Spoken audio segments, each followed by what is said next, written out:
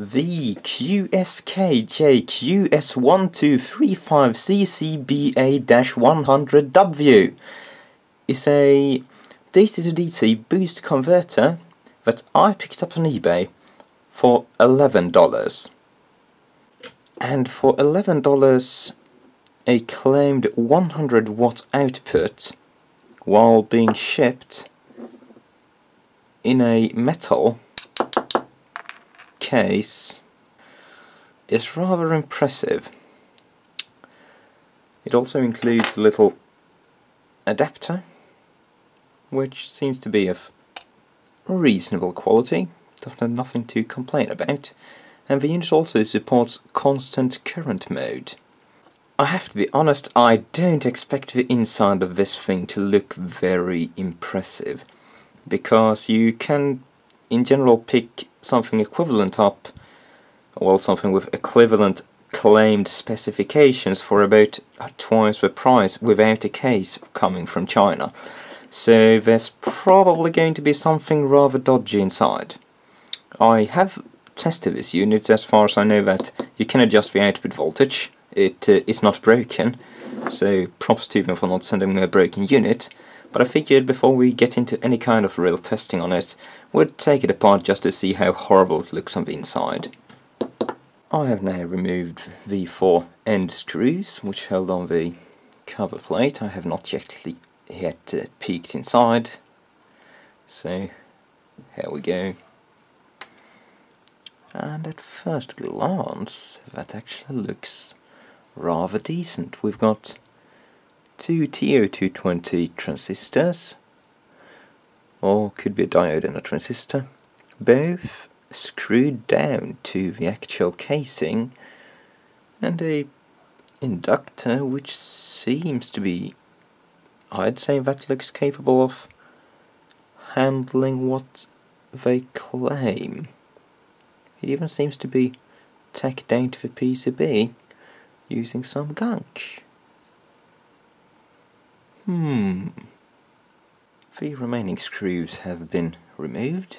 We can spot two large capacitors in there and two 10 turn pots of probably questionable quality. The board seems to just slide out the end. Here it comes. Ooh, that's a nice tight fit I have to say. The casing seems to be of okay quality. Extruded aluminium, of course. And here are our Chong brand caps. 35 volt on that one. And the other one seems to be identical even though I can't spot a number on it. The potentiometers. They look creepily similar to Bourns pots, but yeah, strongly doubt those are brand name pots. Strongly doubt it. And, uh, oh, here's the action side. This actually looks surprisingly well built. I was not expecting to see any surface mount component whatsoever. And above all, not what seems to be Linear technology IC. Very impressed. Is that another brand name IC? I believe that's a brand name IC. I think I recognize that logo. Very decent soldering quality. Very decent everything. These devices are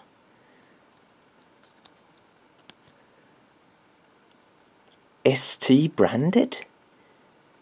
How on earth do you get an ST branded device in something like this?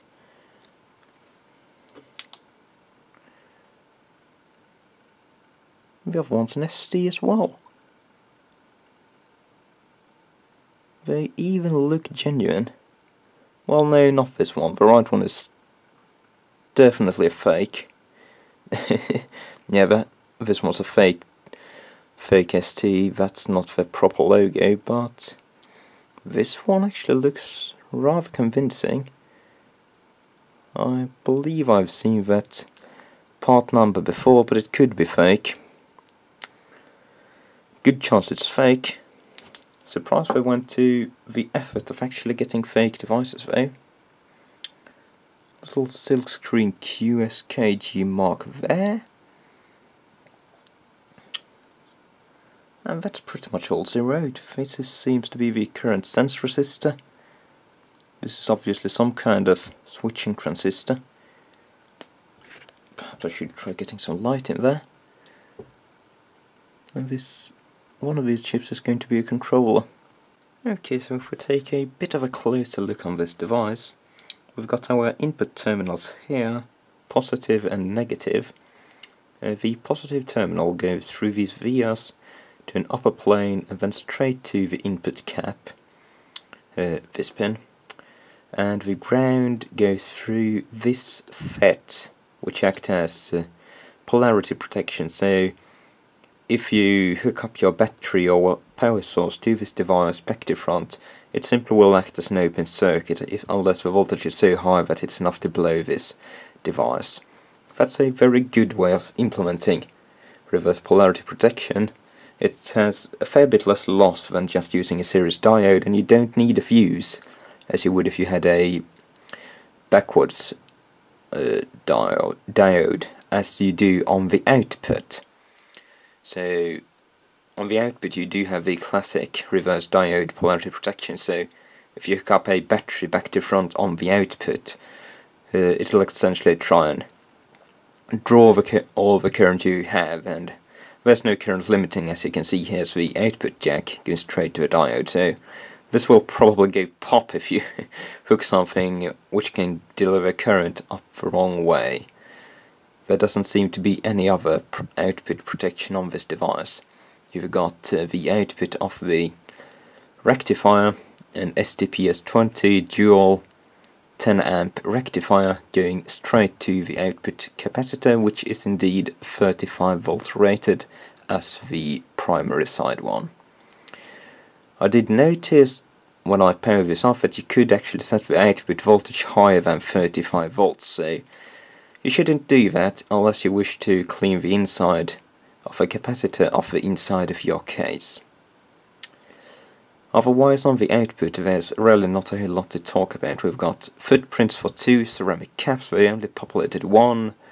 This is the output current sense resistor, this is the input current sense resistor and pretty much everything is done by this uh, linear technology, probably clone IC, and uh, this LM358 op amp, which seems to be buffering one of the potentiometers and probably doing some funny Chinese op amp magic. Uh, the switching device, and ST something or the other, I can't see it through the viewfinder, is an 80 amp, uh, I believe 80 volt device, so it should be sufficient for this device by far.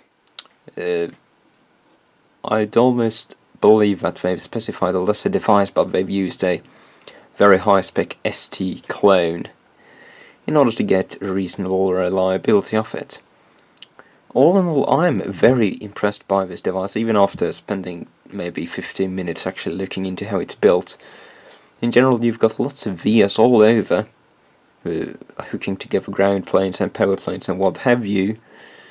The soldering quality is impressively good all around. Just look at, looking at the input connector, it's damn near perfect. You, you, you would find soldering of this quality in a Sony product or something of likes. However, it does have a bit of solder splatter in its places, but that's no big deal they've probably been tested before being sent out at some stage. The general layout is also quite well well made. We've got very thick traces where they need to be thick. And uh, that's pretty much all there is to say about the inside of this unit. These LEDs are... this one is power on. I would believe this one is constant current limiting but I have not tested that, so we will find that out shortly.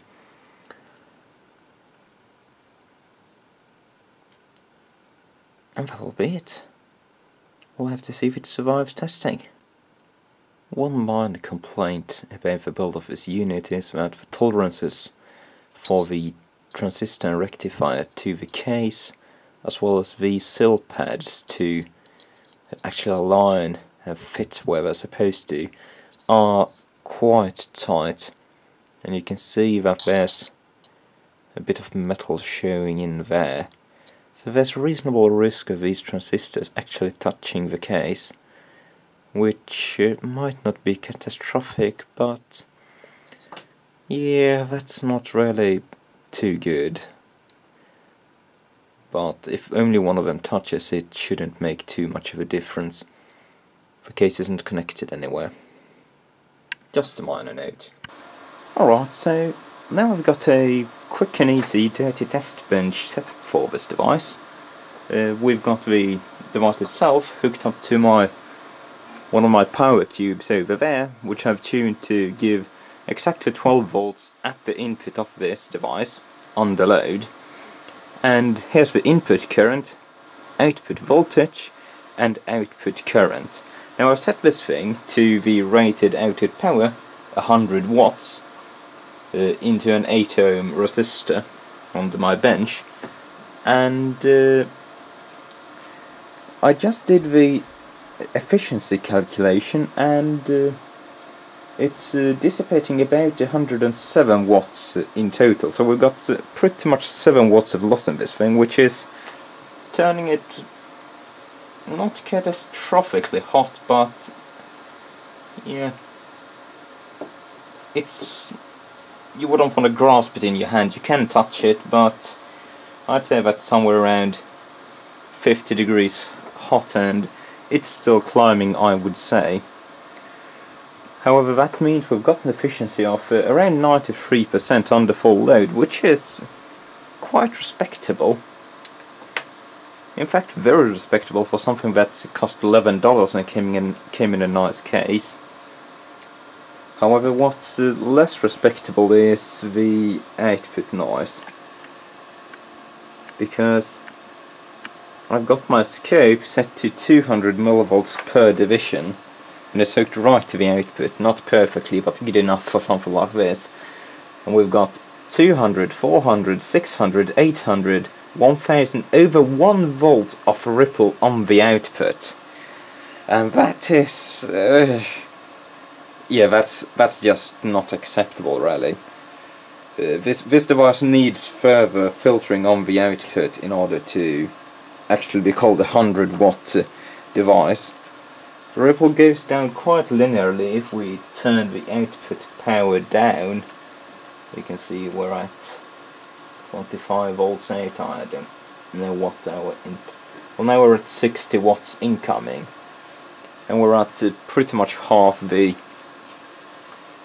ripple let's see here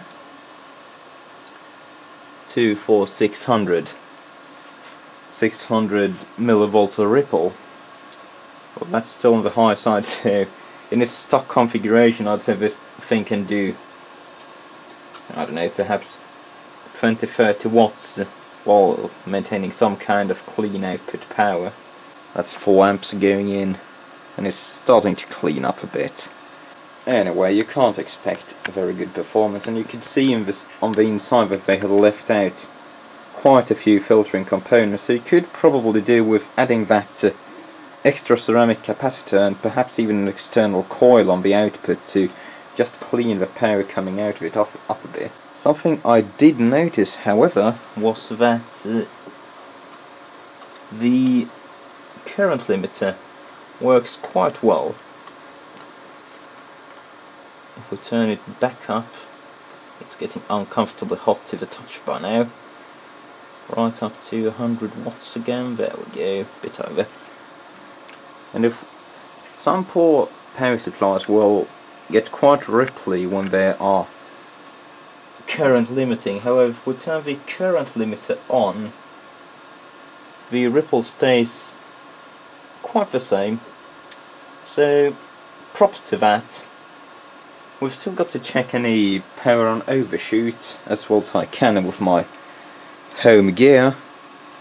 But uh, this thing could potentially make a decent LED driver, which is for what I actually intended to use it. Now it is only a boost converter so you're going to have to use a rather high voltage LED with it. Its lowest output voltage is 12 volt as stated on the actual box of the device. So I plotted a thermal sensor underneath the unit right by the transistor and diode and it's getting a bit toasty to say the least. The unit is um, really too hot to touch you, you, you would get burned if you tried to grab it. so, if you actually want to use this as a, what's it say, 100 watt unit, then you better add some better heat sinking to it. Uh, it's also starting to smell nicely of burning plastic.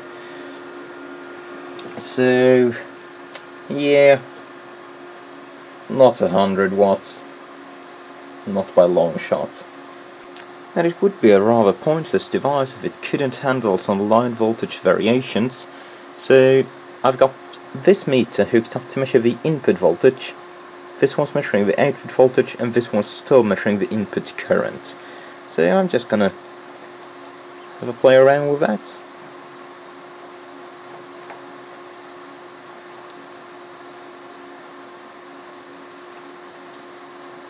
and it's not having a problem.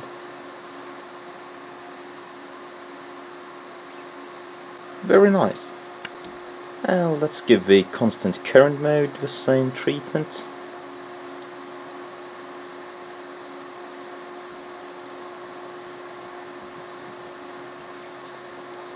There's a bit more play, but I'd say that's acceptable given that what kind of device this is.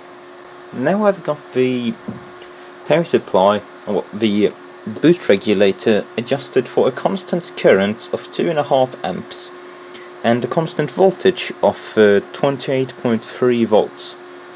Uh, that means that we're going to we should get around 19 volts going into our 8 ohm load and I'm going to plug the device in to see if we get any kind of overshoot. My meter is in crest mode, so even a rather quick spike should appear. And nothing happened. Hmm, I think we might have tasted it. No, that was just my power supply going into protection mode for some reason. Probably have the voltage set a bit too high, it's a bit iffy. Anyway, here we go. Oh. That's not pretty. It definitely overshot quite severely. So that could be an issue if you're going to be driving LEDs with it. Because no one knows how large that current spike actually is. Uh, hang on, I might try and measure it actually. Right, I've got my good meter hooked up uh, in series with the output now. And you can see our set current here 2.44 amps. So if we go into crest mode and kill the power almost want to reset that. There we go let's see what we get. Ooh almost 4 amps. That's quite a far, sh far shot long shot from 2.44 uh, that could potentially kill an LED. Okay, I've now added a 100 microhenry inductor in series with the output, so let's see if that will do us any good. Nope. This device seems to be rather set on overshooting at power on. Alright, I've now added a 1000 microfarad capacitor on the output in addition to the large inductor, so we've got a proper LC filter going on now which could do a bit of good. Nope. The sad truth is if you want a well-regulated current regulator, you're simply going to have to splurge for a slightly more high-end version. However, the extra filtering does clean out up the output quite considerably. We've got uh,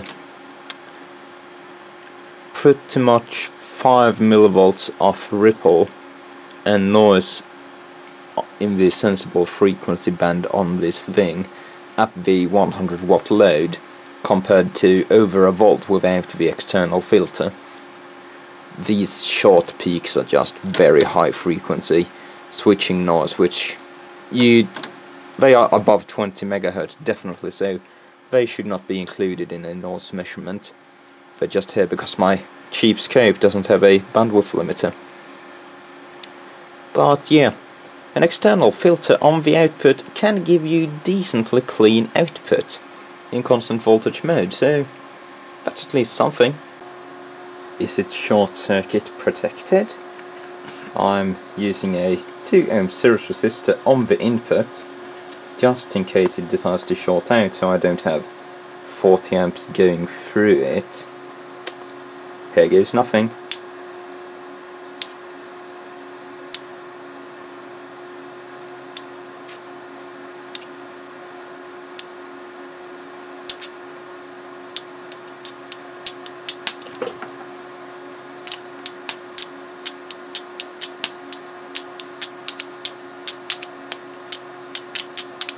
it's looking quite alright. However, we can see that it's not going into constant current mode, it's simply dragging the input voltage down as far as it can. So, I'm not entirely sure if I would call this a short circuit protected device. I'm not too keen on actually get it straight up to the power supply and uh, shorting it out. This isn't too confidence instilling. No, I just set the current limit to the absolute minimum value possible and whatever you do, it still just draws enough current to uh, essentially short its input out. So Really, I would not call this a short circuit protected device, even though it has current limiting, it can't handle getting its output voltage drawn too low. Since it only is a boost converter, uh, it uh, can't, its output voltage can't be lower than its input voltage, and it seems to essentially freak out if that happens. When I was doing a bit of experimentation, on the 4 amp supply there I got it to essentially uh, latch up uh, and uh, just sit on in a mode where it would draw the output voltage of the power supply down so far that it was unable to start properly.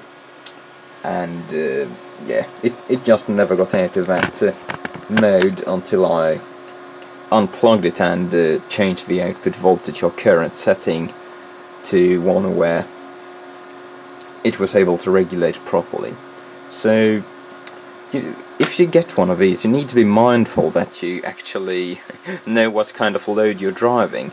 Uh, you, you need to make sure that the voltage will always be higher than the input voltage and uh, that uh, the battery or whatever you have actually has enough juice to power it because it just doesn't seem to respond very well to uh, parameters out of bounds, so to speak, too low input voltage, too high output voltage and so forth.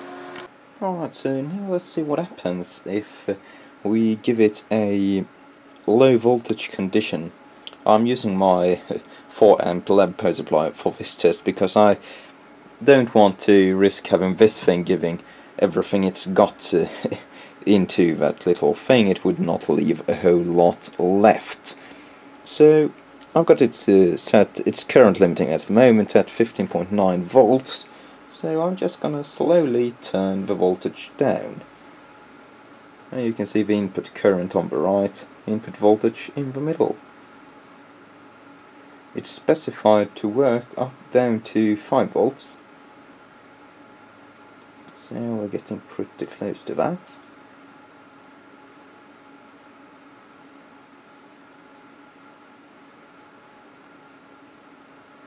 And it took a bit of a jump and uh, wanted, started current limiting my power supply at 4 amps. And this is the latch up condition that I was talking about earlier because with everything connected up like this if I try to reset the thing it will not start. Even if I turn the voltage up it will not start.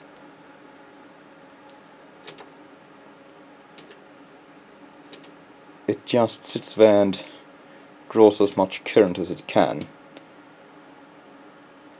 You could see it working fine at 12.5 or so volts, but yeah, if the load's connected, it just can't do it, so I have to turn the load off before actually turning the power supply on, like that, and then it will be fine. So, that could be a bit of an issue if you've got it hooked up weirdly to some weak-ish battery or something and it just can't manage to start and then try shorting your battery out more or less. But yeah, that's a rather unusual scenario. And yeah, really, for, for the price you still can't blame this little thing for being a bit unstable and uh, dangerous. Now as for efficiency, this unit really is quite surprising. Uh, I had to check my uh, testing setup several times in order to uh, verify that these results were actually accurate because frankly it's over 90% efficient even if you overload it by 40%. So I did this test with practically an infinite kind of or infinite amount of different scenarios you could use this device, but I settled for just using an 8 ohm resistive load on the output and uh, uh, just changing the output voltage accordingly. So we have 100 watts at about 29 volts and so forth. You're free to pause the video if you want to watch the entire chart in detail. I'm not going to go into it. I even plotted it out there. Now, somewhat intriguingly, it is the most efficient under the least load. So, make of that what you will, something's got rather high, high resistance. These efficiency measurements should also be reasonably accurate since I did compensate both for voltage drop in the input cables and voltage drop in the output cables going to the load. So I haven't just calculated with, oh, I'll set my power supply to 12 volt and then have 11.6 coming into the actual inverter and I'll set my load to 8 ohms and have 8.5 uh, actually loading down the device. Also checked uh, with different meters and cross-referenced a bit going mostly off of just one meter, my good one and no shoddy clamp meters or anything have been involved so the confidence level in these uh, results should be fairly good. And, I mean, at low loads, you're over 95% efficient. So, for something like an LED driver, hey, that is a nice number, you can't contest. So, is the QSKJ QS-1235CCBA-100W a good buy? Well, I would say so as long as you are aware of its limitations.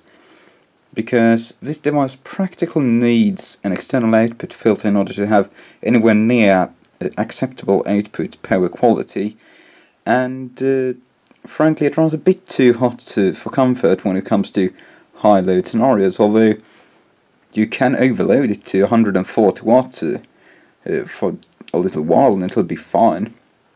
So it's really a rather well built device for its price class. I mean I paid $11 for this. That's frankly amazing and there's some of my thermal compound. Off we go. And uh, yeah, one of the most attractive things you could do with this is use it as an LED driver since it's got the constant current mode.